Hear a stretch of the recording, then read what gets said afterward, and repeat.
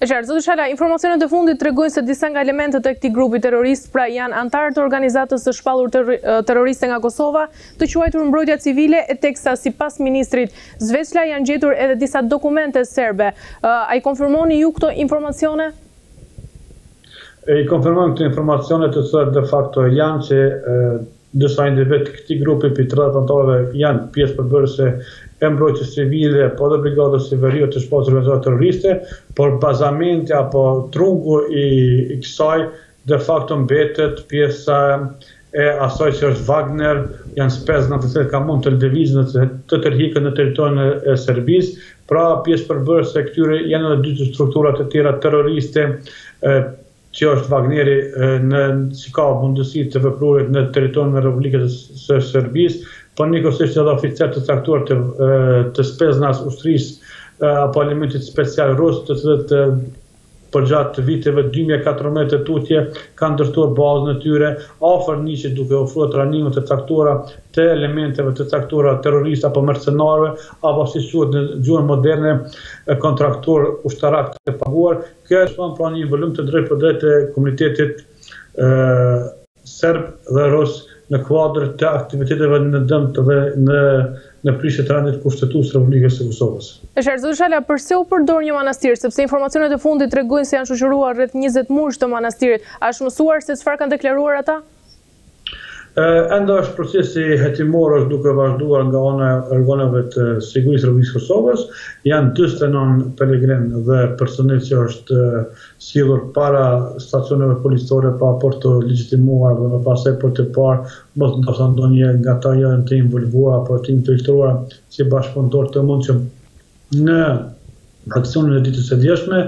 që është, pse është përdorur Manastiri, pikërisht është për ta krijuar sensibilitetin e caktuar në rastet e ndërhyrjes së forcave të rendit Republikës së Kosovës dhe ata kanë menduar dhe kanë ngritur projeksionet e tyre se Policia e Kosovës do të demolojë dhe do të shkatërrojë komplet manastirin, por në fakt kjo gjë nuk ndodhi sepse policia në mënyrë profesionale duke respektuar standardet operative të saja ka kryer punën në përpikmëri duke neutralizuar rrezikun por në anën tjetër duke i ofruar ndihmën e parë personave të cilët janë të dyshuar tani më si pjesë përbërëse e strukturave të uniformuara që kanë patur për qëllim prishjen e rendit kushtetues dhe sulm terrorist ndaj institucioneve të Republikës së Kosovës. Pra kjo dëshmon për një humanizëm në njërën anë, por edhe në anën tjetër për një profesionalizëm tejet të lartë të strukturave të rendit, të cilat de facto kanë dëshmuar që janë këtu për të vazhduar dhe për të garantuar jetat e çdo qytetari në çdo aspekt, në çdo vend ku ata veprojnë dhe kanë përgjegjësinë dhe mandatin e tyre. Është qartë, këto armë të cilat janë sekuestruar në veri të Kosovës, pra edhe municionet, kanë qenë aty apo janë futur gjatë ditëve të fundit? Armatimi i cili është vendosur në manastiret dhe në objektet e tjera të kultit fetar të kishës ortodokse serbe janë futur përgjatë këtyre viteve të Pas luftës, apo më mirë të themi, që nga shpallja e pavarësisë së Kosovës, ndërhyrjet e njësive të para në dy mijë e njëmbëdhjetë pra në mënyrë sistematike janë vendosur këto armë në territorin e Republikës së Kosovës dhe janë dislokuar afër këtyre manastirëve. Kjo pra legjitimon dhe pra argumenton tanimë edhe informacioni zyrtar të shefes apo anëtares së Parlamentit të Britanisë së Madhe, e cila ka dëshmuar Në shtëpinë e përfaqësuesve politikë në Britani se Kisha Ortodokse, manastiret janë shndërruar në depo armësh dhe mbi këtë bazë ne tanimë do duhet të jemi të kujdesshëm në vazhdimësi dhe pse jo të vazhdojmë tutje me kërkesat për të bërë kontrolla të caktuara në objekte të tjera të kultit për të kërkuar, legjitimuar se ndoshta Këto armë tanimë gjinden në objekte të caktuara të tjera përreth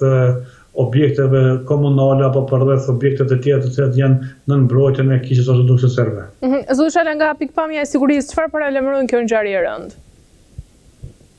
Tanimë nuk mund të themi se çka paralajmëron, por çka mund të konstatojmë është çështja se Do duhet të jemi vigjilentë në kontekstin e veprimeve mëtutjeshme hetimore në në këtë rast, por njëkohësisht do të duhet të ngritim nivelin e gatishmërisë të strukturave të sigurisë të Republikës së Kosovës për të parandaluar ndonjë incident të mundshëm, pse jo të kemi edhe një koordinim me faktorë ndërkombëtarë duke shkëmbyer informacione në kohë reale dhe të kemi masa të caktuara preventive që raste të tjera të ngjashme mos na paraqiten në pjesë të territorit të Republikës së Kosovës Pra, vigjilenca, kujdesi, koordinimi janë tri elementet kyçe me të cilat do duhet tanimë niveli politik dhe ai profesional të vazhdojnë të bashkëpunojnë dhe të punojnë dhe vetëm kështu mund të arrihet që suksesi të jetë permanent, të jetë i prekshëm dhe kështu të kemi një siguri dhe një garantues i cili e legjitimon kushtetushmërinë e Kosovës në çdo cep të territorit të Republikës së Kosovës.